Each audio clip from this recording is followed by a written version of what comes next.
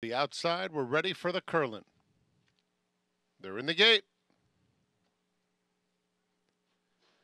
And they're off. And Scotland is sprinting out for the early lead. Il Miracolo on the outside. Lost Ark was in just a tad tight out of the gate.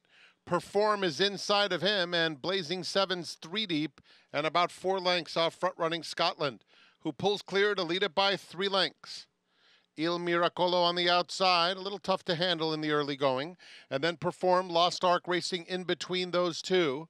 Blazing Sevens at the back, inching up now to take the third spot, only two lengths off front running Scotland. The opening quarter went in 23 and 3 fifths seconds. Scotland is the leader, prompted by Il Miracolo.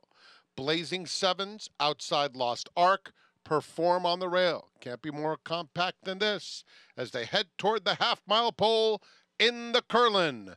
And Scotland has been there throughout. Cruising along with Il Miracolo, pushed along, trying to keep pace through a half in 47 and 2 fifths seconds.